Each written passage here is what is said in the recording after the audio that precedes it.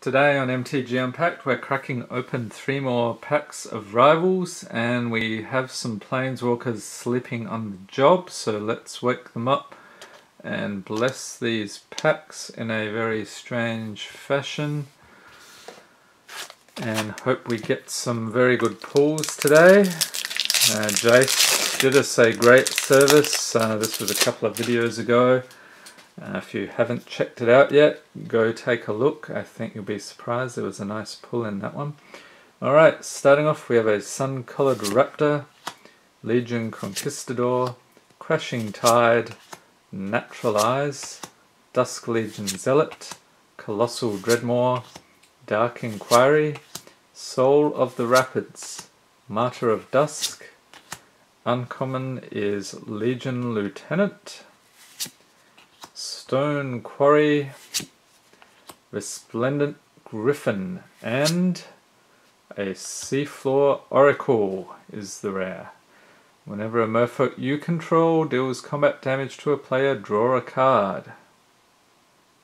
And this guy seems like he looks pretty harmless, but I don't know, maybe drawing cards that could be helpful. And, oh nice, look at the foiling on that thing. Flood of Recollection. And there's Jace.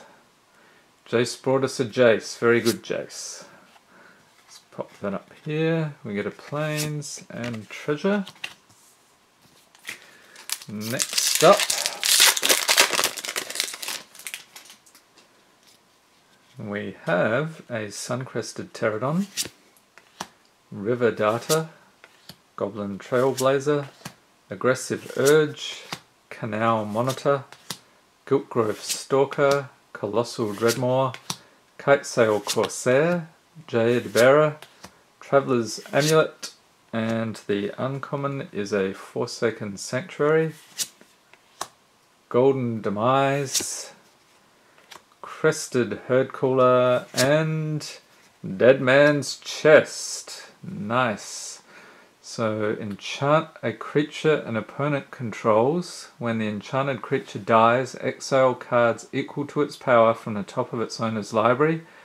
You may cast non-land cards from among them for as long as they remain exiled, and you may spend mana as though it were mana of any type to cast those spells.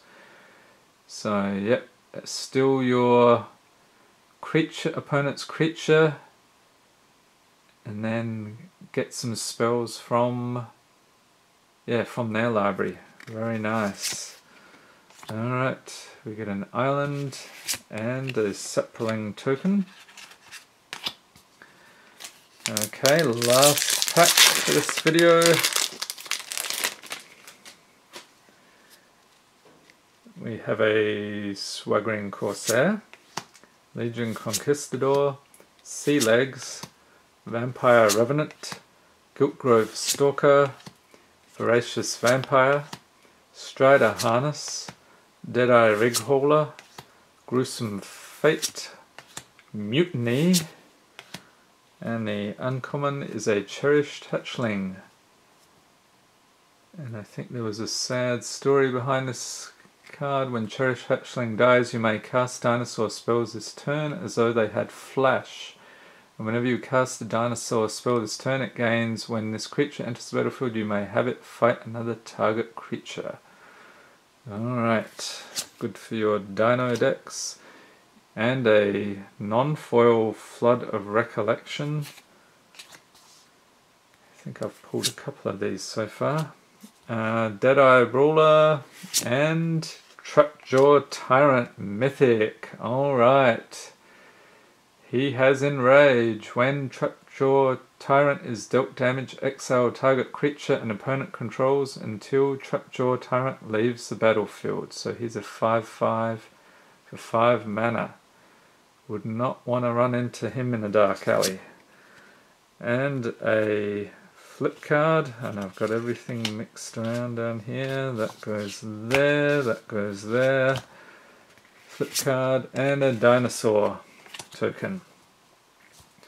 Alright, if you enjoyed this video, please give it a thumbs up, hit the subscribe button for more Magic the Gathering unboxings, and have a great day.